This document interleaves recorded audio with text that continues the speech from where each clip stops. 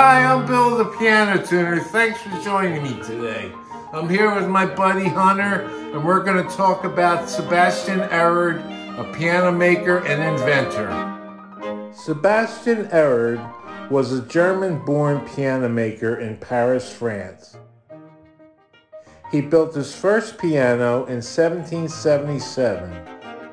In 1821, Erard was granted a patent for the repetition lever or the double escapement action. This improvement made it easier to play fast musical passages.